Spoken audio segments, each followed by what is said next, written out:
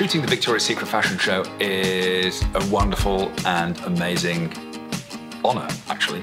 Um, and not just for the most basic reason. Okay, it's very beautiful women and it's lingerie. I mean, so, okay, so any director probably is gonna enjoy shooting that.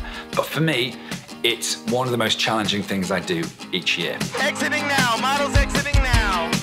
Pre-production starts almost a day after we deliver this year's show. We'll start talking about, you know, concepts for the year after, in, in, in the broadest terms. Every month, we sit together as a creative team, and it's amazing because on no other show I've ever worked on, or am I likely to work on, do we do that. And you know what? It's, it's a great creative dialogue. Pre-production is done, now we move into production. This is all about camera placement for me.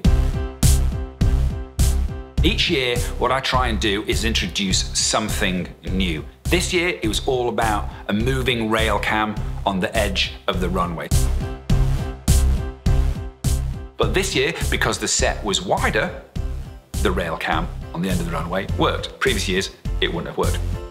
Camera plot, obviously important. Three cameras at the end of the runway, a close-up, a mid-shot, and a full body shot.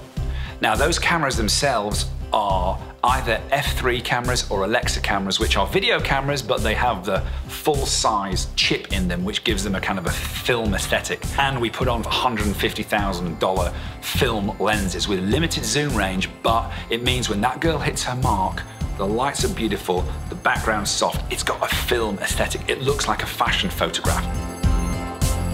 I guess the biggest thing is the edit. We have so many hours of footage, so many different angles, and it's a question now of putting together the most beautiful imagery, the most entertaining imagery. We have to tell the stories. It's a real balancing act. If it were live to air, we absolutely wouldn't do it the way that we do it now. We couldn't do it the way that we do it now because I really want to make it look like a fashion photograph as much as I possibly can. And the two week edit allows us to do that.